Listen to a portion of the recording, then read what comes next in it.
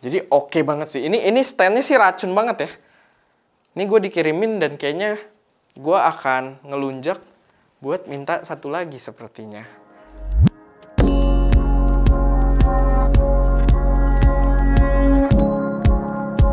Halo semuanya, selamat datang channel SM Media dengan gue Erwin dan di video ini gue lagi kedatangan sebuah stand atau bisa kita bilang boom arm atau ya mic arm bisa juga. Dari Soundtech yang ini adalah sebuah produk yang menurut gue bakal multifungsi banget buat kita para content creator gitu ya atau mungkin para live streamer. Karena ya ini adalah stand untuk mikrofon utamanya walaupun multifungsi gitu ya. Dan ini dulu itu susah banget buat dicari. Dulu itu biasanya ada cuman punyanya Rode dan harganya nyentuh jutaan gitu kan. Dan sekarang banyak opsi yang menurut gue lumayan menarik. Sampai muncul juga ini dari Soundtech Pro yang kalau gue lihat dari detail produknya ini bakal seru banget gitu ya. Bakal benar-benar lebih menarik lagi. Kita lihat seperti apa. Oke di sini udah ada beberapa gambaran juga tapi kita langsung buka aja lihat produknya.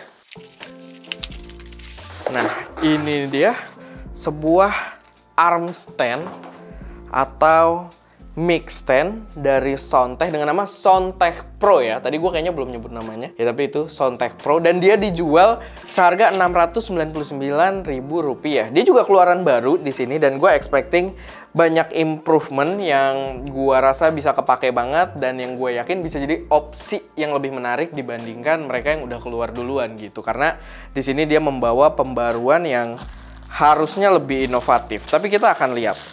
Oke, kita langsung sambil buka aja.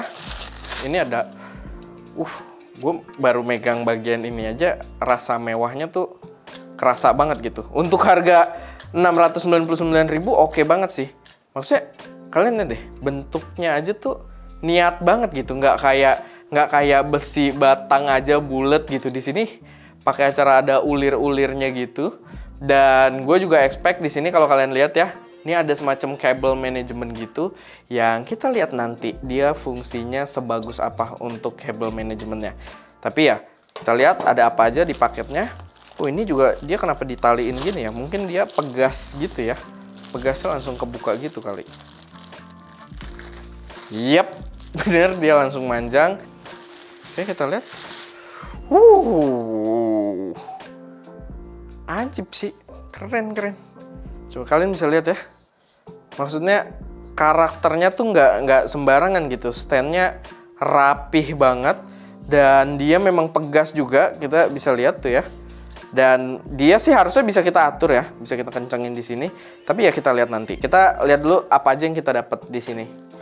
Ini kita dapat adapter. Kalau kalian pakai mic stand yang pakai ulir ukuran gede ya kalau nggak salah tuh ukurannya gue lupa tapi kalau ini quarter quarter 20 gitu kan. Nah ini adapter ke yang ukuran lebih gedenya yang kayak spigot spigot like stand. Cuman gue lupa ukuran angkanya berapa. Dan ini kita juga dapat beberapa aksesoris. Ini aneh juga nih. Kita dapat semacam kayak mounting action cam gitu. Mungkin kalau kalian mau pakai GoPro kali di situ ya disediain. Ya aneh sih cuman ya mungkin nice to have gitu kan kalau kalian pengen pakein kayak semacam GoPro atau action cam di atas standnya mungkin lalu ini uh ini adapter juga tapi ke ukuran yang lebih gede. Kalian bisa lihat nih gue lebih nggak tahu lagi nih ulirnya. Tapi ini uh, yang bawahnya tetap quarter 20 mount dan yang ini, ini sih khas untuk stand-stand mic banget ya. Jadi sebenarnya kita beli stand untuk mic ini, kayaknya dia kompatibel dengan berbagai jenis mic gitu. Kita tetap dapat adapter dari quarter 20, ini ke yang ukuran ulir agak lebih gede, gue lupa angkanya. Dan ini dapat yang lebih gede lagi, ini yang biasanya ada di handle-handle mic. Jadi kalau mic tuh biasanya ada U-nya gitu kan, standnya.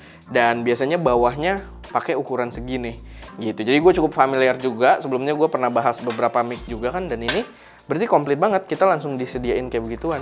Oke, nih dia juga ini untuk sebuah stand sih oke okay banget ya. Dia dapat phone holder juga. Mungkin kalau kita mau naruh HP di standnya gitu kan ya buat berbagai jenis penggunaan sekreatif kalian. Tapi ini dapat phone holder yang udah ada cold shoe mountnya juga. Jadi ini menarik banget sih. Gue agak kepo juga nanti penggunanya seperti apa. Tapi itu kita punya banyak opsi banget di sini. Tapi gue akan kesampingan dulu. Kita pasang dulu standnya. Oke, kita akan pasang standnya.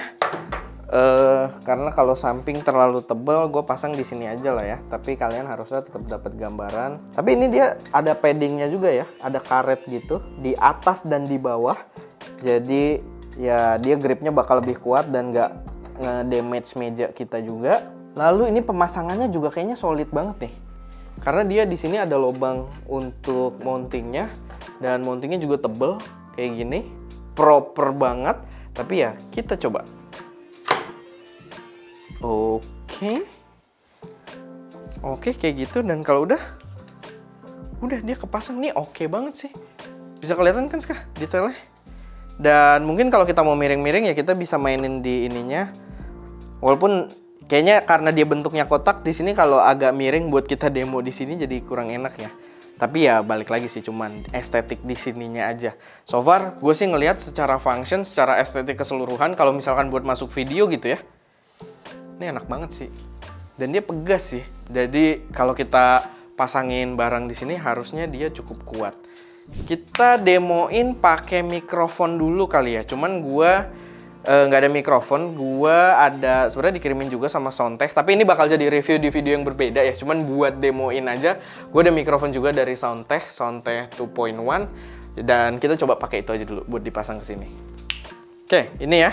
Ada mikrofon dari Soundtech juga, Soundtech 2.1 dan ini yang gue maksud tadi nih. Biasanya kalau mikrofon-mikrofon yang ada uh, stand atau holder U gini, dia di sininya pakai ukuran yang gede kayak si ini. Tapi di sini sih kalau untuk sonteng enggak ya, dia udah ada. Dia bisa langsung dipasang aja nih pakai ukuran yang kecil, ukuran mounting threadnya. Jadi harusnya udah langsung support. Cuman kalau kalian pakai mikrofon lain, mungkin yang lebih profesional kayak kayak mungkin pakai punya jajarannya Rode buat podcast atau punyanya Shure, itu setahu gua mounting-mounting ini bakal kepake gitu, adapter-adapter ini bakal kepake. Dan kita akan pasang. Ini buat contoh aja. Dan ini bisa kita putar di sininya. Oh enak. Jadi jadi kita nggak kayak biasa harus gini loh. Nah biasanya kan gini nih kalau masang mic. Ini nggak usah. Kita bisa putar di sininya sampai kelar. Tadi salah arah lagi gua. Nah sampai kelar dan seamless banget ya memang mungkin dengan micnya Soundtech paling cocok gitu ya. Udah masuk banget. Dan kalau udah ini nih yang versi atasnya atau yang bagian atasnya kita kencengin juga dan dia bakal ngunci gitu kalau kita mau nengok-nengokin biar mungkin micnya nggak kebuka gitu kan threadnya Ntar ini gue kencengin dulu. Nah, kalau kita mau nengok-nengokin, atasnya aja kita longgarin lagi. Oke banget sih, secara estetik gue suka banget. Dan balik lagi, mungkin secara positioning kita bisa atur juga di sininya. Oke, kita pasang kabelnya dulu kali ya. Ya walaupun ini nggak langsung kita nyalain tapi kita demoin aja. Harusnya dapat kabel juga. Oke.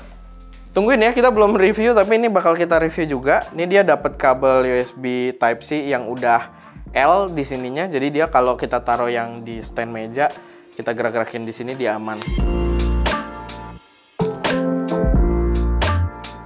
Oh ulir ini tuh kepake untuk kabel manajemennya juga loh. Nggak cuma estetik doang Nih, jadi ulir-ulir ini nggak cuma estetik doang nih bentuk kotaknya, karena dia gitu. Dan gue suka juga kabel manajemennya ini enak banget karena si ininya bisa kita cabut loh.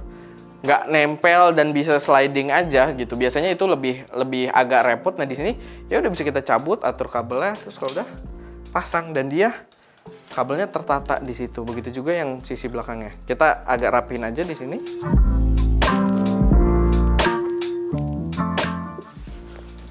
Uh, setup yang menarik gitu ya. Atau ya kita ini kan balik lagi ya buat ngedemoin kalian biar kelihatan ya penempatannya menyesuaikan gitu yang kelihatan di situ. Tapi maksudnya ya kita bisa berusaha lebih estetik lagi. Mungkin dipasang dia ngeklaimnya agak lebih jauh ke sana gua rasa bakal lebih estetik gitu. Ketika dianya agak agak ngerenggang juga. Mungkin kalau guanya agak menjauh gini.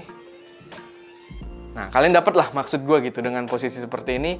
Mungkin akan terlihat lebih proper podcast gitu kan, lebih oke okay, gitu. Dan kita pastinya bisa atur-atur juga.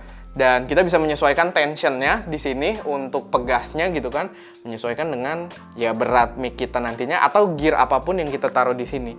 Karena balik lagi, selain buat mic doang, dia penggunaannya juga banyak. Bisa buat berbagai referensi kreatif. Karena di ujungnya ini mountingnya dia pakai quarter 20 uh, ukuran seperempat, ukuran tripod yang membuatnya fleksibel banget buat dipakai pakai aksesoris apa pun. Contohnya mungkin kita bisa pasangin juga kamera di atas itu. Oke, kita akan demoin sekarang kalau kita pasangin kamera. Akan lebih fleksibel sebenarnya kalau misalkan kita pakai ball head ya. Tapi tanpa ball head pun ya balik lagi ke bentuk meja kalian dan penempatannya harusnya dia bisa kepake. Kita coba pasangin mirrorless A7 sorry bukan A 6400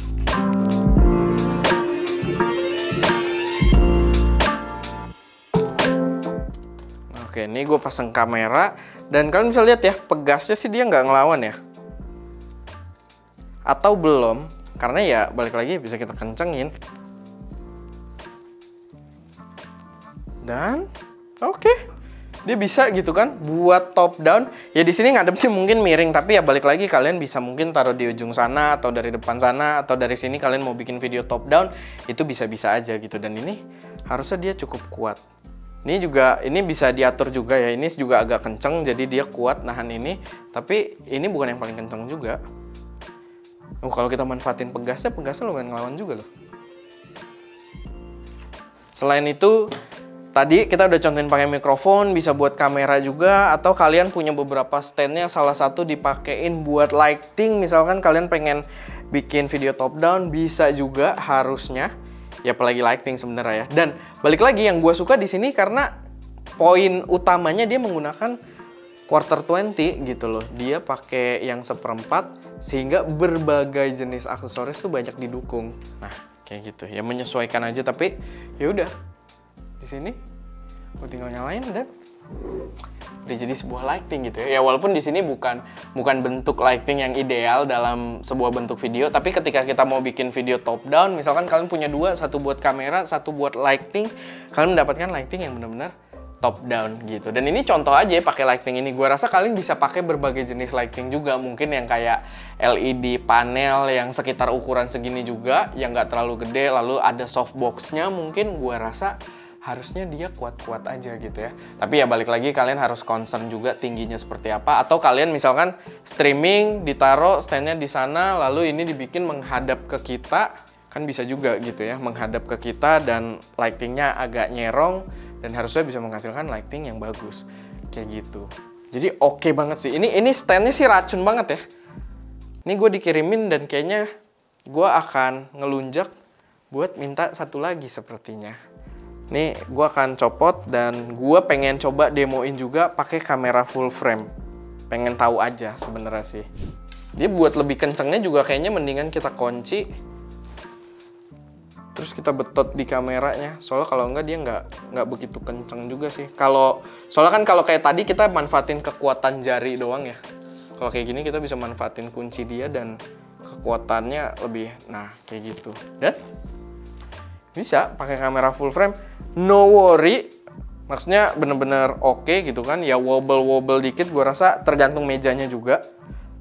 Tapi gue bisa bilang cukup sturdy lah apalagi kalau misalkan mejanya diem gitu ya. Dan semua kuncinya kalau kita kencengin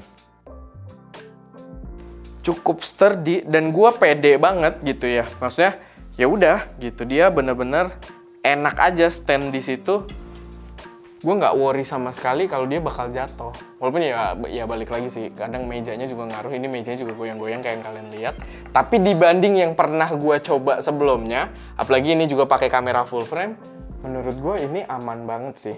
Sama cable manajemennya itu juga pasti berguna banget. Karena kayak si kamera ini pastinya dia bisa kita cas pakai USB Nah, misalkan kita mau charging via USB gitu kan, contoh aja ini juga nggak nyolok apa-apa di sininya, atau bisa juga kita pakai baterai dummy gitu, pakai baterai dummy lalu diatur juga ke kabel manajemennya. Dan kalau kalian perhatiin kabel manajemennya tuh masih muat buat kalian naruh kabel lain tuh dia masih cukup dalam gitu. Dan buat kita atur misalkan di sini udah ada kabel ini. Lalu contoh kita ada mikrofon juga misalkan ditaruh di sini atau lighting. Kita bisa running pakai kabel lagi kita tinggal buka, masukin kabel barunya, tak tak tak, kalau udah udah gitu dan kelihatan rapih banget. Ini matang banget sih apalagi buat harga 699.000 atau kita sebutlah 700.000 gitu ya. Ini matang banget dibanding stand-stand yang pernah gua coba sebelumnya gitu. Oke, paling segitu aja sih sedikit pembahasan gua seputar stand Soundtech Pro ini dan ya silahkan Kalian yang menentukan juga cocok atau enggak buat kalian. Yang penting semoga video ini bisa memberi gambaran yang cukup jelas dan bisa jadi referensi buat teman-teman semua. Kalau misalkan ada koreksi, saran, atau pertanyaan, silahkan taruh aja semuanya di kolom komentar. Dan ya, itu aja. Gue Erwin, di belakang kamera ada Ska, dan jangan lupa untuk berkarya.